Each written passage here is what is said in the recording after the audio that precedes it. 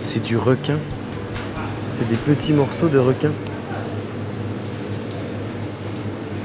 Faut que j'en achète un, faut que je goûte. C'est horrible.